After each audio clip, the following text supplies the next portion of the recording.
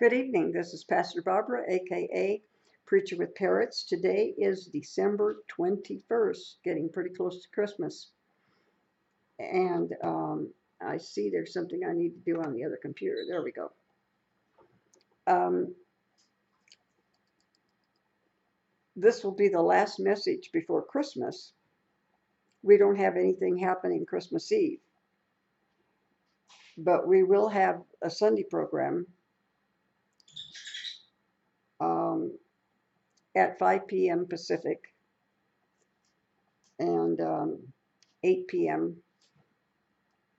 Eastern Time, but we don't have anything on Christmas Eve. We do have a program a week from today on Wednesday. And we're going to have a New Year's Eve and a New Year's program. That's gonna that's pushing it. And um, we had so much fun last year that we can not not do another New Year's Eve program like it. And then the next day being Christmas Day, I know that most of you have other things to um, um, to do, and um, I would not feel bad uh, if somebody didn't make it. But I'll try to make it as interesting and as fun the program as we possibly can. Okay, I'm looking. You all can't see it, but I can. Uh, last Wednesday we talked about Abraham and Sarah. Remember, they were half sisters and brothers. They had the same father, Terah, but different mothers. Uh, Abraham first fathered Ishmael, whose mother was an Egyptian, and then fathered with Sarah Isaac. Um, we have um, history here where most of the women are barren, at least for a while, and Sarah was. Then we get to Isaac, marries Rebecca. Uh, she was barren for a while, but when she had children, she had two. We had Jacob and Esau. Esau was the firstborn. They were twins, but one came out first. But then we had the story um, and the reminder of it last week of the fact that between the two boys, the eldest sold his birthright because he was hungry and wanted something to eat that his brother had made. But then we went on with the historical lesson where they robbed the firstborn of the father's blessing on his deathbed or near deathbed. We got down and mentioned Jacob and Rachel, but we haven't talked about it yet. Uh, our lesson starts with the 29th chapter. And by the way, we end with the 12 sons of Jacob. And with the whole family, we end Genesis with the whole family coming to live in Goshen in Egypt. They become slaves there for over 400 years. At that point, Genesis ends. Genesis means beginnings. And Exodus starts. And Exodus opens, and we will then go back to the book we started in, which is the book of Genesis in the Dead Sea Scrolls. I had to leave it because in the book of Genesis, even though it was the favorite book of um, those translators, uh, it's the book from which more things are missing, or partly missing, or slightly damaged. And so we just went to another version of the Bible until we're out of Genesis. But that's how close to being into uh, getting out of what was before the law and going into uh, Moses being called and used of God to get the people out of what eventually became slavery in Egypt and uh, the calling of Moses, getting them out and um, going up to uh, Mount Sinai and getting the law and getting into what we think of when we think of the Old Testament. All right, so now we have Jacob. He's actually running away from his brother. Uh, Esau, the second born, now takes the blessing of the firstborn. And he is, in fact, Abraham, Isaac, and Jacob. Um, this is how he meets his wife, Rachel. She's also barren. So we're in the 29th chapter. Jacob resumed his journey. He um, left his mother, who helped him defraud his brother and his father, suggested that he go to her parents' house and stay there until things cool down between the brother from whom uh, who stole from him the birthright. So he's on his way now back to Laban's house. Jacob resumed his journey and went to the eastern country. He looked and he saw a well in a field. Three flocks of sheep were lying there beside it. There was a large stone. I'm going to just give you some of this to save a little bit of time. There was a large stone that covered the well. It took more than a couple of guys to move the stone so that many, many animals from many flocks could drink. And then the stone would then be used as a covering against the well. Um, in verse 4, Jacob sees men at the well and he says, Where are you from? Remember, Abraham's brothers, one of them was named Haran. On the way from Ur to where they were going, he died and was buried there.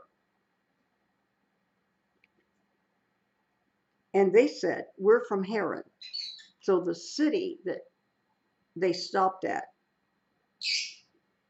they were in the city of Ur when God told Abraham, Get up, go to a place, I'll lead you to it. When you get there, you'll know you're at the right place.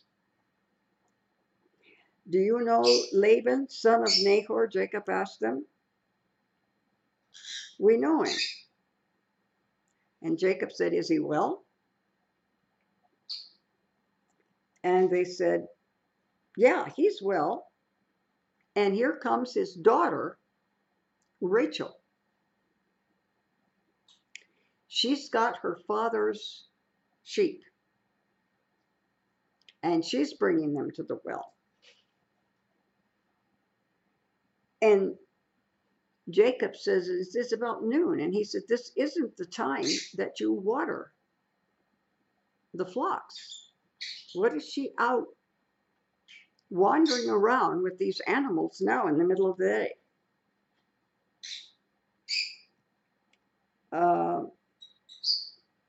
Jacob said, Look, it's still broad daylight. It's not time for animals to be gathered. Water the flock, then go out and let them graze. But they answered and they said, We can't until all the flocks have been gathered and the stone is rolled away and the well is open, and then we water the sheep. And while they were still speaking, here comes Rachel. Um, her father was the brother of Rebecca, who married Isaac.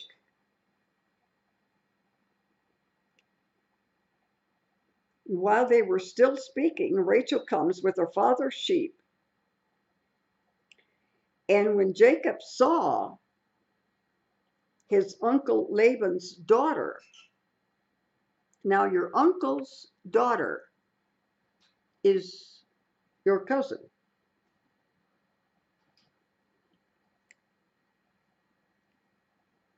And when he saw her, uh, Rachel went with the sheep and went up and rolled the stone from the opening and watered the sheep of her uncle Laban. Then Jacob kissed Rachel, and uh, in the New Testament, there's a reference that says, um, greet each other with a holy kiss. People have customs change from time to time. And I can't describe the kiss to you because it's not described to me in the Bible. But it was a general greeting. Now, when I was a kid, I'm a hugger now. I hug everybody that I see that I know if I like them, and a few people I don't even like. It's just, it's just, well, I do it, so I am. But I can remember when I was a girl in church, we shook hands with the men, and occasionally we hugged a, another woman. Um, now, the opposite opposite seems to be a little bit more uh, in agreement with our culture. Uh, you see two women hugging, and some people wonder about them.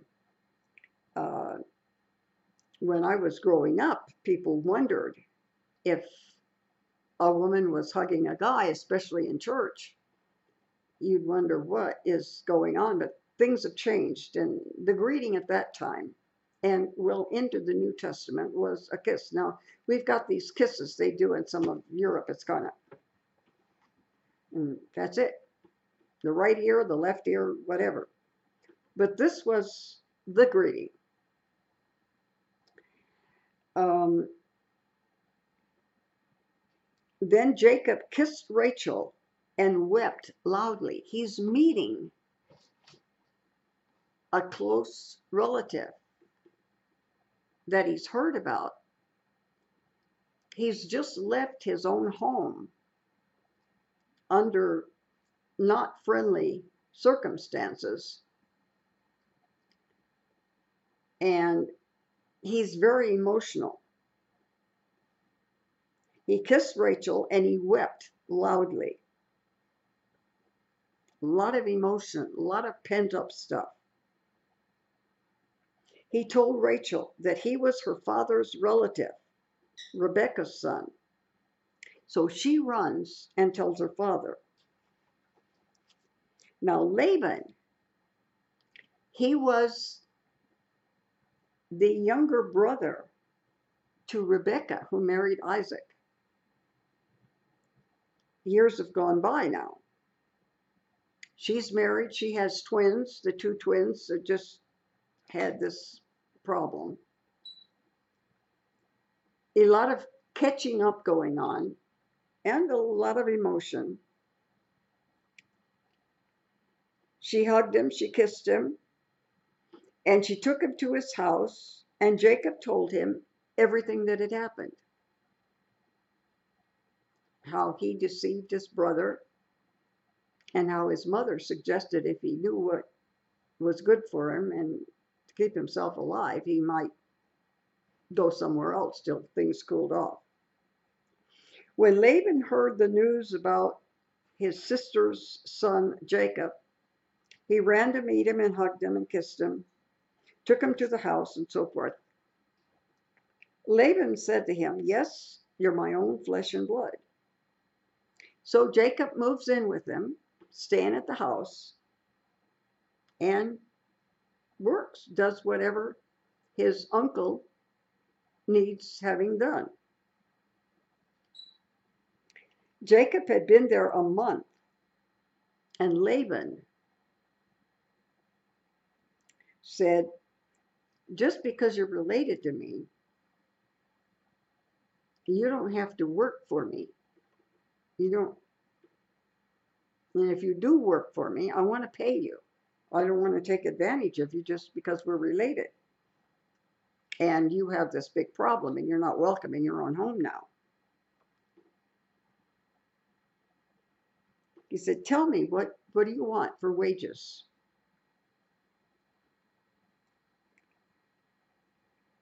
And Laban had two daughters. Here we go again. Listen to the description of the two daughters.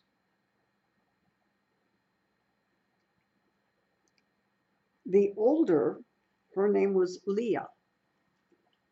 This is going to be mom and dad, sort of. It's going to be dad with four wives, two wives and two concubines.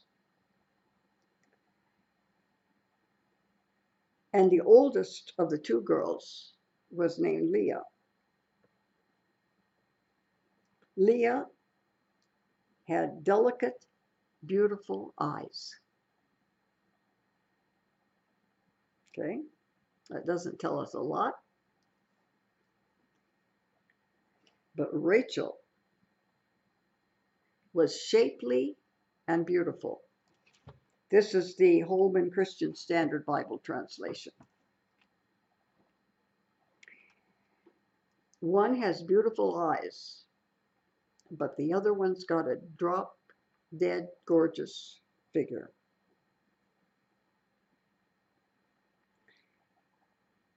Jacob loved Rachel. So he said, I'll work for you for seven years for your younger daughter, Rachel. At this point, I want you to see, although they don't mention every step of the way, but we've had many stories, many historical matters that we've read, both Old and New Testament, and this is before law, actually, about the marriage and the marriage feast. And you've heard me talk about, first of all, we have Jesus' parable about the um, bridegrooms um, the girls would all go over to the bride's home, all her friends, and wait for the groom and his buddies to arrive. And because they didn't have trains and airplanes and cars, and travel was by foot or occasionally by animal, you never knew what time of the day or night somebody was going to arrive. This is why we have the story in the New Testament about the eye of the needle, which was, I call it a doggy door, but a camel door. Uh, the door, the gates to the city, there were two of them, you know, and they were kept open during the day. But when they were closed at night, for the safety of the people inside, if there were people traveling to that city but hadn't arrived yet, when they got there, they found the gates closed. For their safety and the safety of their animals and whatever they had with them, a gatekeeper would open and it was called the Eye of the Needle. And um, I think you've heard me describe that I, I used to be five, five and a half. I'm five, four now. I don't know how, to what degree I'll eventually shrink up to. But I was five, five and a half when I was there. You had to step up about 10 inches because that's the way the door, doggy door, camel door was built. And I was five, five and a half. I had to get my head down. Well, you can imagine if I was a camel, it would be even harder. And that's why it was said it's easier for a rich man. It was easier for a camel to get in the eye of a needle than it was a rich man to get into heaven. Not impossible, just hard. First of all, camel, camels don't like to do what they're told to do. They like to do what they want to do. They can be very nasty. They spit on you. They're they they're they're nasty. Um, that gives you an idea of the importance of the gates at night and being closed and not knowing when the bridegroom and his friends would show up the gatekeeper would be there and open the little gate and make it possible for them to come in. We have both in the New Testament and in the Old Testament. And uh, whenever I meet anybody from the East and I get to know them well enough to ask them a few personal questions, I ask them if things are still with the weddings now in the Mid East the way they used to be. And with people my age, they say yes. I don't know, knock off 50, 60 years from my age. Um, I don't know how things are for young men and women now, but that's how it used to be. So keep that in mind, the things I've said about how weddings were then. You know that the weddings lasted however long uh, the parents could afford to put up a party. So he comes, he sees the older daughter with beautiful eyes and the youngest daughter with a drop dead figure. And he says, I'll work seven years for the youngest one. remember we still have another wedding feast coming at the rapture.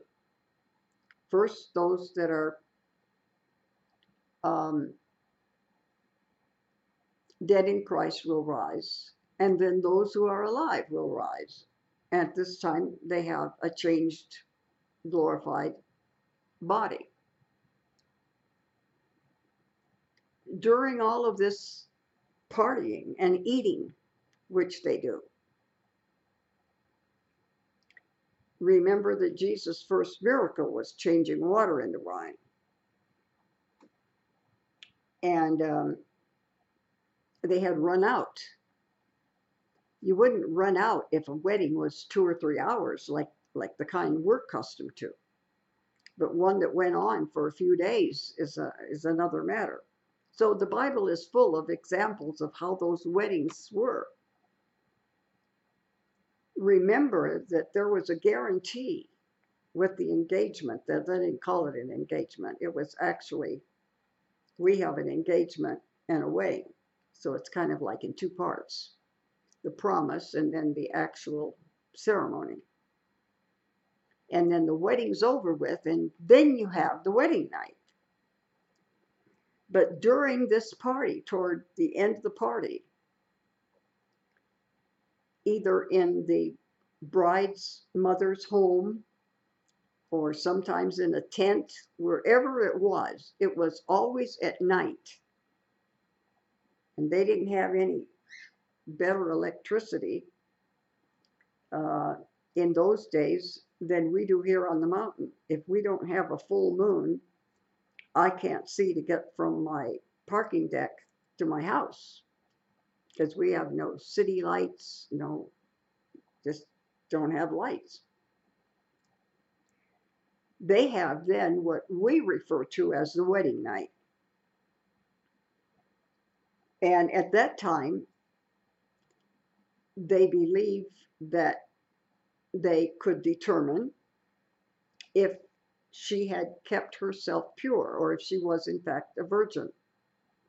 Keep that in mind while I read the rest of this story. Um, Laban said, Better I give her to you than some other man. Stay with me. So Jacob worked seven years for Rachel. And they seemed like only a few days because he loved her so much. Then Jacob said to Laban, Give me my wife, for my time is completed. Hey, I said I'd worked seven years for her. It's been seven years. Make her my wife. So Laban invited all the men of the place to a feast. That evening, Laban took his daughter Leah and gave her to Jacob. Now, I mentioned in the last couple of lessons about the veil that they wore, because when Jacob's father, Isaac, first saw Rebecca, his mother, she was coming on an animal. And he was standing on the property, but some distance away, and realized that that must be his father's servant with his bride. And she saw him on the property, and the servant says, Yes, this is him. She covers herself because they remained covered until this particular part of the ceremony. That evening, Laban took his daughter Leah and gave her to Jacob, and he slept with her. And Laban gave his slave Zilpah to his daughter Leah as her slave. In other words, he didn't have possessions, family. Uh, Laban had money. He was from the next older generation. He didn't want his daughter, who was accustomed to having help and a servant, to go without. So, as his daughter is getting married, he gives uh, a servant along with her to serve the daughter. And Laban gave his slave Zilpah to his daughter Leah as her slave. But it's Rachel that he wants. And now the father pulls this off, taking advantage of the darkness and of the fact that the woman remained covered until uh, the end of the wedding night. When morning came, there was Leah.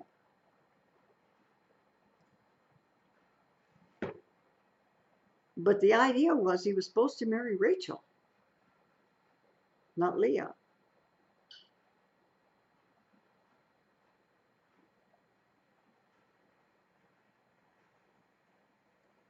He took his daughter Leah, the oldest one, and planned this. When morning came and it's daylight and the veil is off, says, you're not what I bargained for. And he went to Laban and said, What is this you've done to me? Wasn't it for Rachel that I worked for you? Why have you deceived me? And Laban answered, It's not the custom in this place. And I told you that I have known a few families, not many, but I've known a few families where the custom is the oldest daughter must get married first.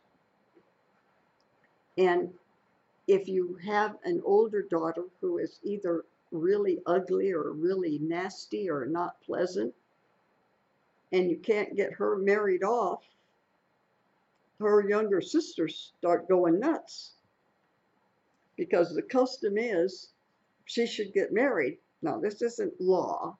This isn't anything God told him to do or not to do. This was just their custom. Laban said, It's not the custom in this place to give the younger daughter in marriage before the firstborn. Complete this week of wedding celebration, and we will give you the younger in return for working another seven years. So he works seven years then he gets the wrong one. And he agrees to finish the wedding week ceremony with the oldest one. At that point, he will also get the youngest one. But he will work another seven years, but he doesn't have to wait another seven years for her. He can have her right away.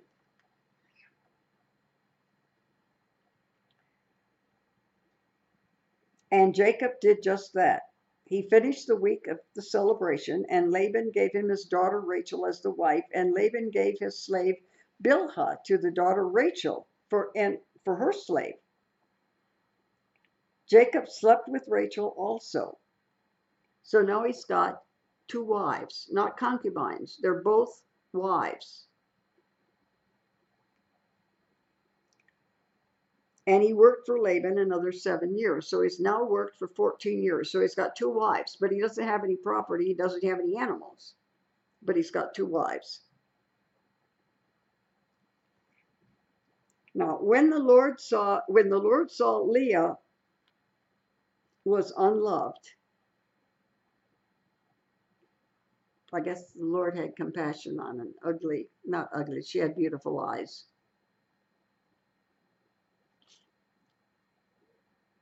But remember, a woman did not feel like she was a woman until she had given, preferably a son, to her husband.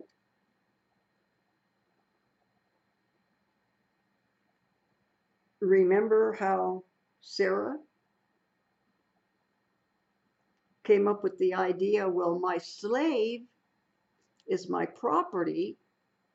So if she were to have a son by my husband, that would make the son legally mine since the mother is mine. That's thought is what Sarah went through. Then Rebecca the next generation, the woman of the next generation, was also barren, but quickly she became pregnant and had twins. And now we're in the third generation, and he gets two wives after seven years, but takes 14 years to pay for both of them.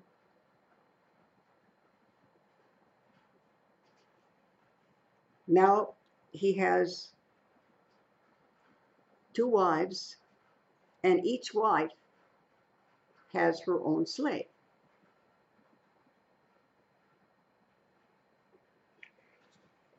Now the Lord saw that Leah was unloved. So he opened her womb, and Rachel was barren. So that made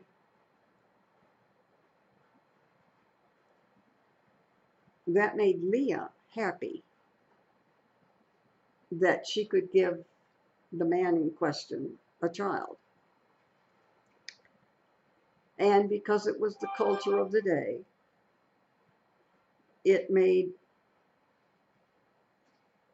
the one he really loved unhappy because she was barren and couldn't give him a child.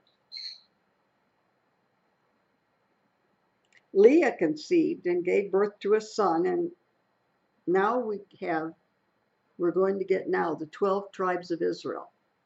Remember, his name is going to be changed to Israel. Right now, his name is Jacob. But it's later going to be changed. These are the 12 tribes. We're going to get 11 of the 12 tonight. I don't think we're going to get, I know we're not going to get to the, the 12. What we have is the one he loved and the one he didn't love are his two wives. And then they each have a servant to whom he has access to. Um, she has a son and she names him Reuben. He's the firstborn of the 12 tribes of Israel. She named him that because the name means the Lord has seen my affliction. Surely my husband will love me now. That's sad. Uh, the Mormon sister wives could say it doesn't make any difference, but everybody knows women want to be loved. You want to be admired, you want a lot of things, but you want to be loved.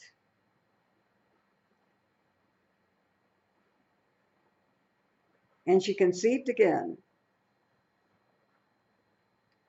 She said, The Lord heard me, and I was unloved, and gave me this son also. So now she's given two sons. This is Simon, or Simeon. That she now has given him two sons. She conceives again and she says, At last my husband will become attached to me because I've given him three sons, and that one is named Levi. Remember, it's a tribe of Levi that you have to belong to if you do anything at all in the temple. And conceived again. We've got four now from the same wife. And she conceived again and had a son. She said, This time I will praise the Lord. And she named him Judah. And then Leah stopped having children. So the first four children are all from the wife that he married the first time, believing she was somebody else. Now we're in chapter 30. And Rachel saw that she was not bearing Jacob any children. regardless how you in your mind come up and say, well, he knows that I love him and he he chose me and he loved me. But unless you were a woman living at that time, you can't understand how inadequate she feels. She just um, um, she feels that what she wants to do most, which is give the man she loves and that loved her a child, and she can't. It's just not happening. So she does what her grandmother, Sarah, did. She said, Here's my slave Bilhah. Go sleep with her, and she will bear children for me. Think of them as my children because it's my maid. And I can raise a family through my maid. So Rachel gave her slave Bilhah to Jacob as a wife, and she slept with him. Uh, she conceived and gave him a son, and his name was Dan. And then she conceived again and gave him a second son. And she named him Naphtali. Now, when Leah saw that she had stopped having children, she took, in other words, the first four children were by the wife he loved least. And then the other wife that he loved the most, the next two children were from her.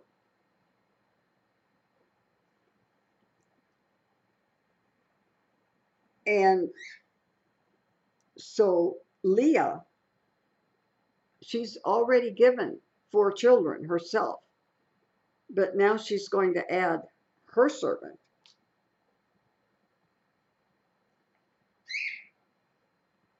Uh, Zilpah. And she has a son.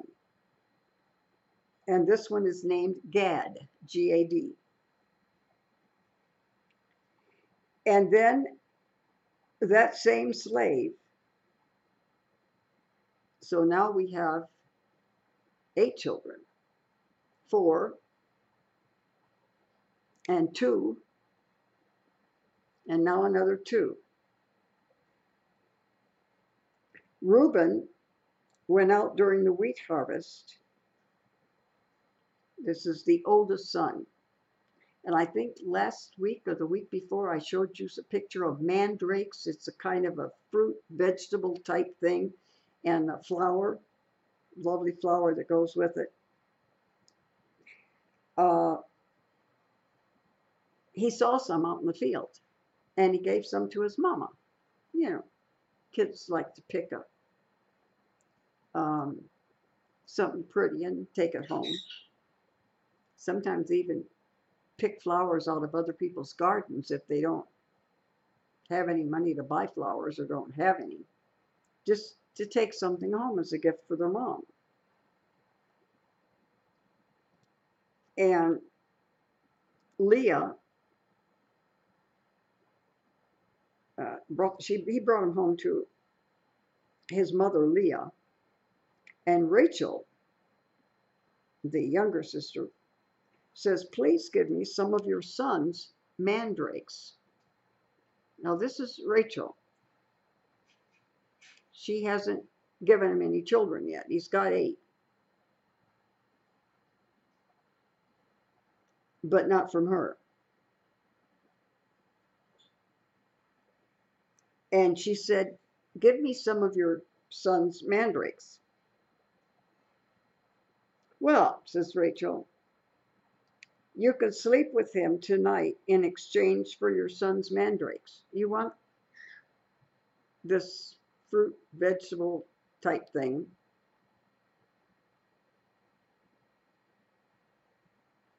From my son, you can have them. So when Jacob comes in from the field, Leah the first wife, who's given him four children, and her maid has given him another two. She can no longer conceive. She's through having children. Between her and her maid, she's given him six children. So says, You must come with me, for I have hired you with my son's mandrakes. So Jacob slept with her that night. God listened to Leah, and she conceived and bore Jacob a fifth son. Leah said, God has rewarded me, and that was Issachar is his name. Then Leah conceived again and bore Jacob a sixth son. God has now given me a good gift. This time my husband will honor me because I've given him six sons. And she named him Zebulun. Then she had a daughter named Dinah. There's a tragedy that happens to Dinah later. She's raped. And at this time, I believe there are 11 sons, at least 10 at that time. Um, after Rachel gave birth to, wait a minute.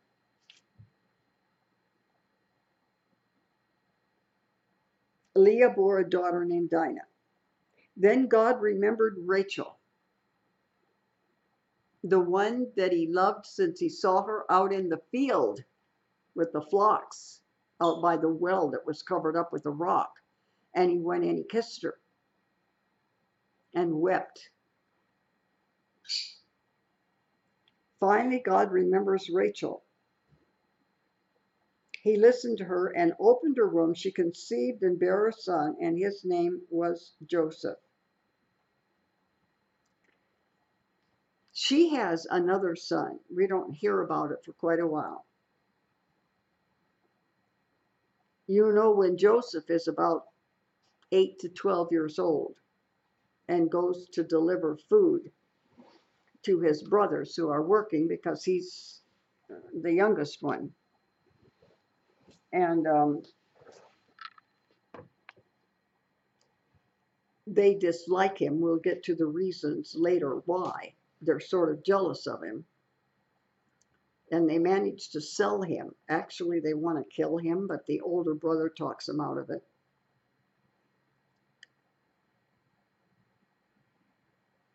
The father loves him so much because he's the 11th son, but the first son by the woman he really loves.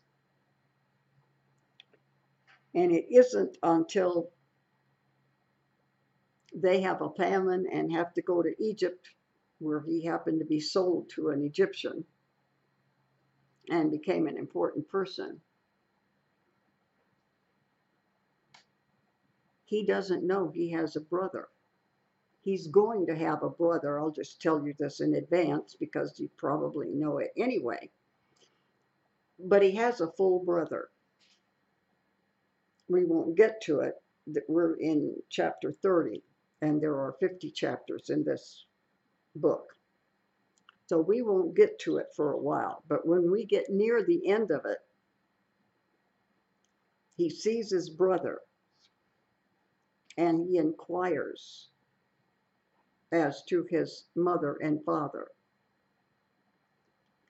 His mother has had another son.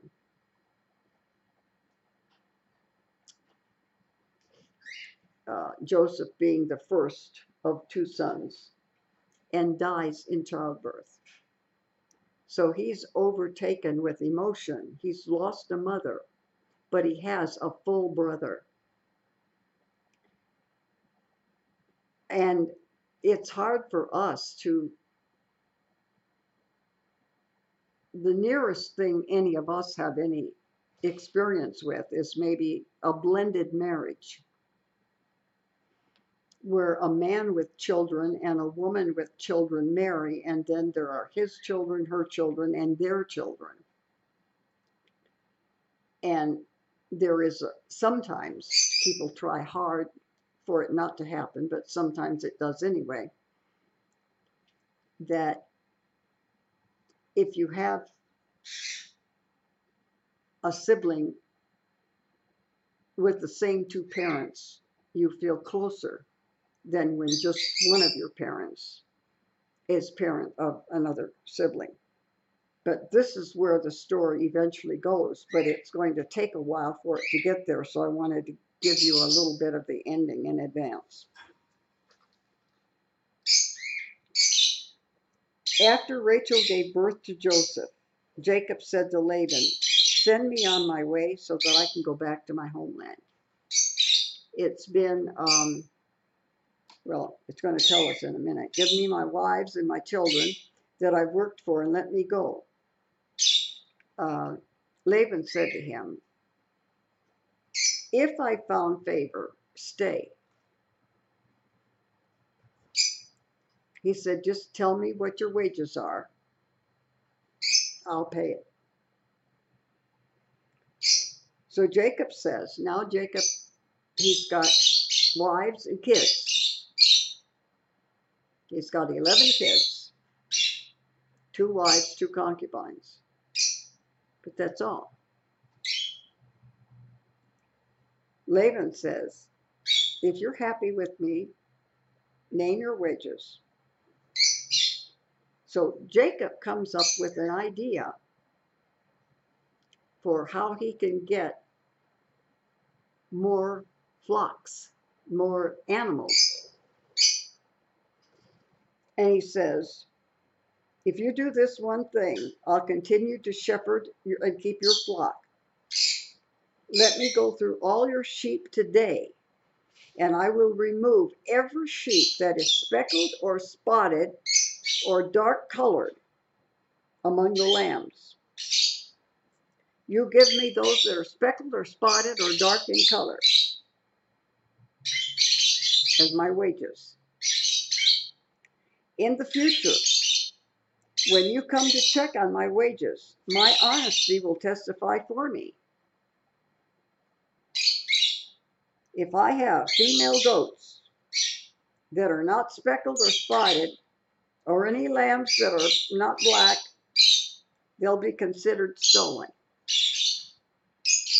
In other words, I will take the speckled, the spotted, or the dark ones.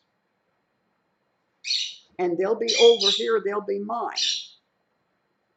And the lighter ones and the others are over there and they're yours. You want to come and check up on me, you're going to see. I'm not borrowing any of yours. And remove, remove every check, every sheet that is speckled or spotted or dark colored in the future, when you come to check my wages, my honesty will testify for me. If I have any female goats and etc. Laban says that's good. That day Laban removed the streaked and the spotted goats and all the speckled and spotted female goats, every one that had any white on it, and every dark colored sheep among the lambs, and he placed his sons in charge of them. So this is his son-in-law twice, actually four times, because he gave them the slaves. Um, Jacob then took branches of fresh poplar almond and plane wood and peeled the bark. He set the peeled branches in the troughs with the sheep in the water channels where one sheep came to drink. The flocks bred in front of the branches. This is weird. When the flocks would breed in front of the branches that he put in the water, Speckled and spotted young ones, Jacob separated the lambs and made the flocks face the streaked and the completely dark sheep in Laban's flocks. And then he set his own apart, and he didn't put them with Laban's sheep.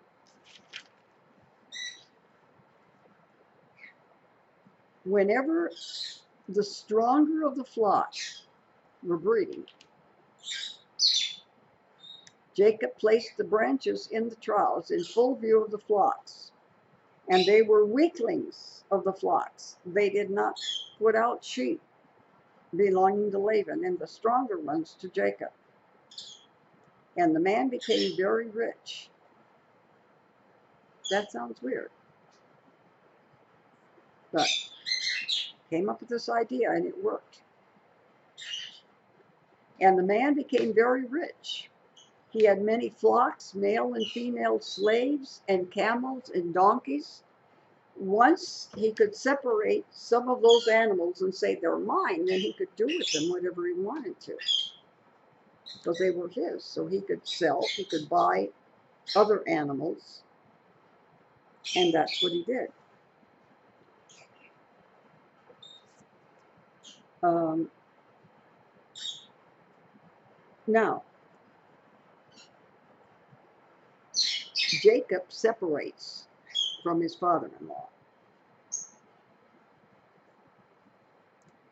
Jacob heard that Laban's sons were saying, Jacob has taken all that was our father's and built wealth from what belonged to our father. What are they looking at? They're looking at their inheritance. They get nothing from um, Jacob, but they would inherit what was their father's. But their father, who had been the wealthy one, now his animals are not producing much. And the ones that are, you got to remember what are these sheep good for? For their wool and for producing more animals. So it doesn't really make any difference what color they are, if they're speckled or not. It was simply a matter of them identifying what belonged to this one and what belonged to the other one. But because of this weird idea of putting these branches in the water trough,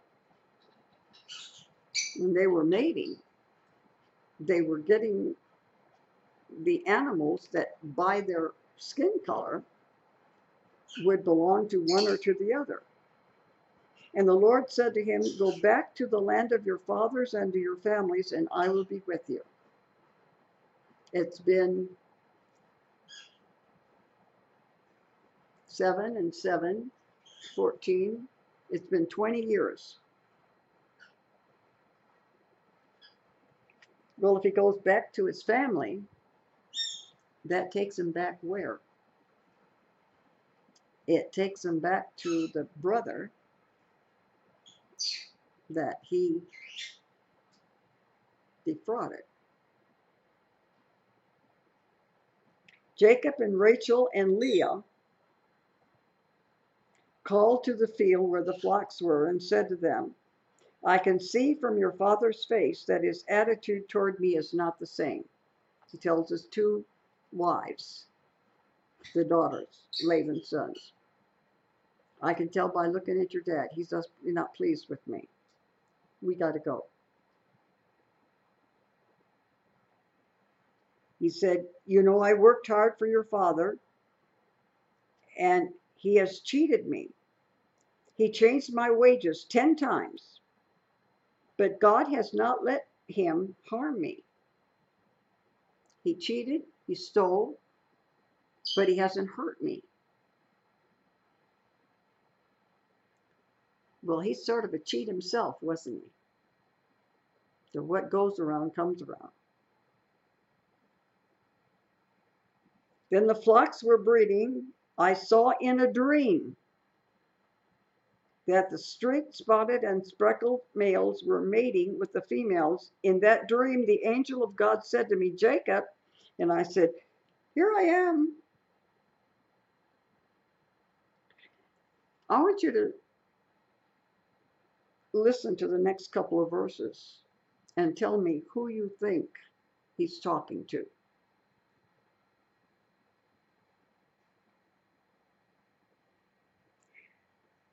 Starts out by calling this person an angel. That happens to be a capital A. In that dream, the angel of God said to me, Jacob, and I said, Here I am. And he said, Look up and see all the males that are mating with the flocks. For I've seen all that Laban has done to you. Now, you all have sat through enough teachings. You all know angels don't have authority, they don't have power. They don't marry, they don't die, they don't get born. Every angel that was created on day one is still alive. They are not human beings. They were not created for the same purpose.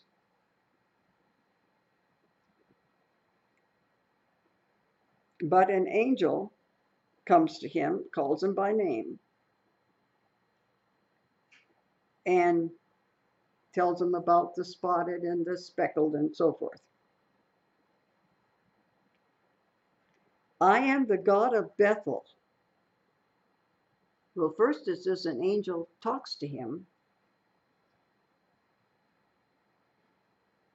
but in his talking, that so called angel says, I am the God of Bethel. And this is a capital G. Where you poured oil on the stone marker and made a solemn vow to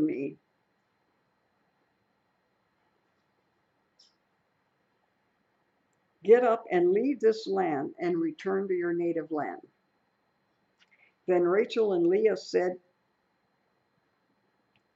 Do we have any portion or inheritance in our father's household? Now, they're smart girls.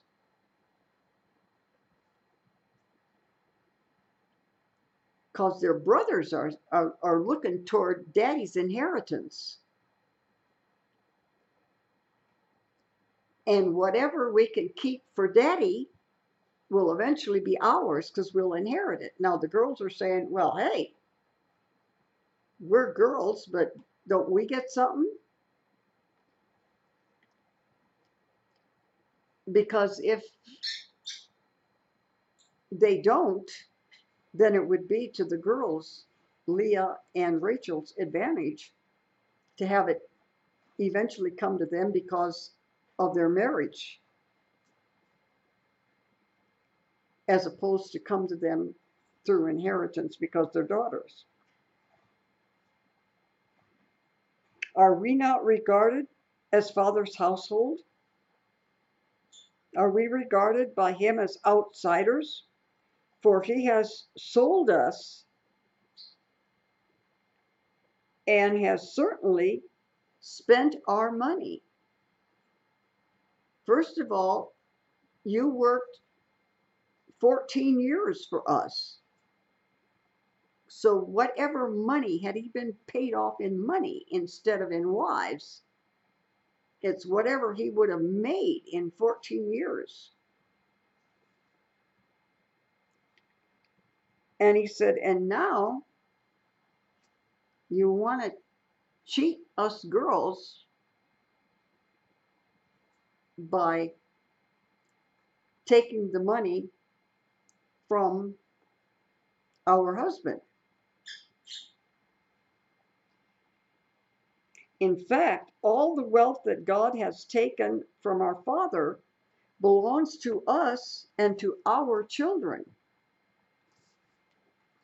So do whatever God has said to you. Then Jacob got up and put his children and his wives on camels. He took the livestock and the possessions he'd acquired and he drove his herds to the land of his father Isaac in Canaan. When Laban had gone to shear his sheep, um, Rachel, who was the youngest daughter, the one he loved the most, she stole some idols from her father's house. And when Laban went to shear his sheep, I guess he went to look for his idols and didn't see them. And Jacob deceived Laban, not telling him that he was fleeing. In other words, he was getting ready to go, but he didn't say, Hey, I'm going.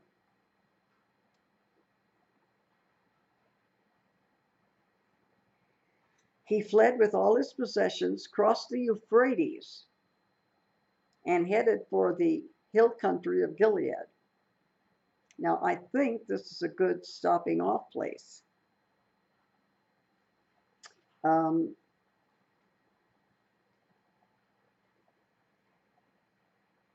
it is. Anything in the next chapter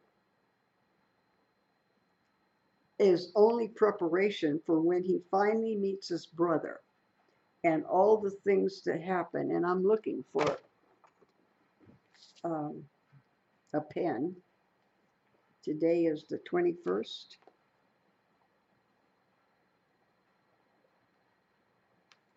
Um, 12, 21st, 16. Um, so probably Wednesday, I'll be doing something more Christmassy. Not sure. If I don't get accomplished what I want to get accomplished, I won't. But um, so it might be two weeks before we come back to this. But we have uh, the problem with his not leaving in a very satisfactory way from his father-in-law. And then we have him meeting with his um, brother Esau on the way. And his brother has become very wealthy in the meantime, too. But we'll end there, and I'll close the video for now. We're at an hour, six minutes. Until the next video.